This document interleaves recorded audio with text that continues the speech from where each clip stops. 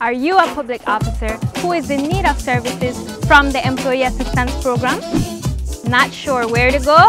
Don't worry, the Employee Assistance Program is countrywide in Belmopan, Belize City and the Cayes, Punta Gorda, Big Creek, Independence and Placencia, Dangriga, Santa Elena, San Ignacio and Benque, Corozal, and Orange Walk.